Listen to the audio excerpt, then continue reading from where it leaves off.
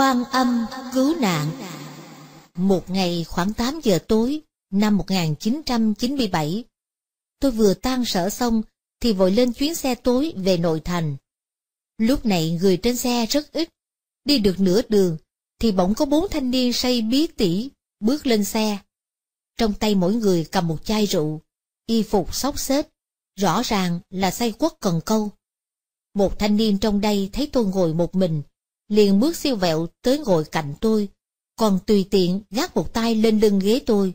Ba ông ma men kia thấy vậy, đều nhào tới, ngồi xuống bao vây tôi. Ừ, cho anh ngồi chung nghe. Lúc đó tôi cảm thấy cực kỳ bất an, trong lòng hơi ớn, nhưng ráng giữ bình tĩnh, nghiêm nghị bảo anh thanh niên ngồi sát tôi, hãy bỏ tay xuống. Kết quả, chẳng những anh ta không nghe, mà còn phản ứng suồng sã táo tợn hơn, bằng cách choàng tay lên vai tôi, còn cười ha hả thật lớn. Chắc chắn đây là một tên lưu manh. Tôi muốn đổi chỗ, nhưng gã chẳng cho tôi đi ra. Tôi liền hướng anh bán vé cầu cứu. Tôi kêu thật to. Anh bán vé ơi! Anh bán vé từ từ đi tới. Tên lưu manh này thấy vậy liền xa sầm mặt, vội xỉa tiền ra mua năm vé.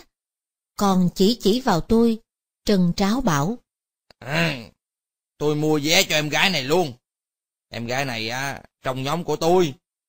Trong nhóm của tôi hết trơn á. Nghe vậy, tôi thật có miệng mà nói khó khăn, nhưng vẫn ráng giải thích. Tôi không quen họ, anh đừng lấy tiền của họ. Vé của tôi hãy để tôi mua. Nói xong, tôi đưa mắt nhìn anh bán vé, ngầm cầu giúp đỡ. Nhưng anh ta chừng như quá sợ đám du côn này, khẽ liếc tôi một cái, rồi lủi về chỗ mình ngay. Anh ta cứ giả lơ, làm như không nghe thấy gì. Còn lại bình tôi với đám lưu manh, không ai bảo vệ. Trong lúc cực kỳ nguy cấp đó, tôi chỉ còn biết cầu Bồ Tát cứu mình thôi. Tôi rất tin Bồ Tát quan âm, hữu cầu tất ứng, trong lúc nguy nan sẽ chở che gia hộ bất tư nghì. Giữa đêm tối bơ vơ không ai giúp đỡ, tôi đành chấp tay niệm thầm, Nam Mô Quan Thế Âm Bồ Tát. Tôi nhất tâm khẩn cầu Ngài che chở, cứu tôi thoát khỏi cảnh nguy hiểm. Dần dần, nội tâm tôi trở nên bình tĩnh, không còn căng thẳng, mà cũng chẳng còn sợ hãi nữa. Vì ngay lúc đó, tâm và Phật hiệu đã hợp nhất.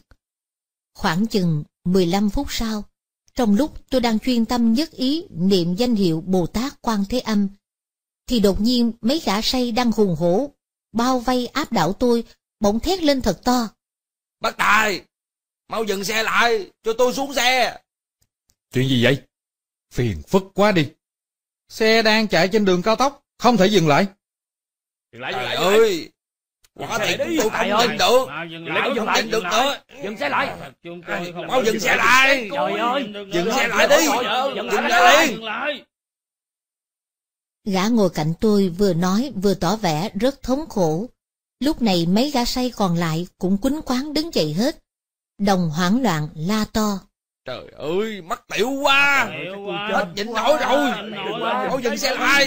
Trời ơi, tôi muốn xuống xe. Tài xế vừa dừng, thì bốn gã say vội nhào lăn xuống đường, rồi biến mất hút trong đêm. Ông tài xế chửi đổng một câu. Đồ thần kinh. Rồi cho xe chạy tiếp. Tôi thở phào nhẹ nhõm. Trên xe, bầu không khí giờ đã yên tĩnh trở lại. Tôi hết sức cảm tạ Bồ Tát Quan Thế Âm đã ngầm gia trì, chính là nguyện lực từ bi của Ngài đã giúp tôi hóa hiểm thành an. Đúng như trong kinh phổ môn nói, chúng sinh bị khổn ách, vô lượng khổ bước thân, quan âm diệu trí lực, năng cứu khổ thế gian.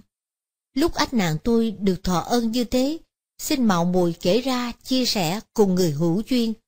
Tôi muốn nói rằng, nếu bạn gặp nguy hiểm, lâm vào cảnh bơ vơ cô độc một mình, không có ai chở che, thì hãy chí thành niệm danh Bồ Tát Quan Thế Âm.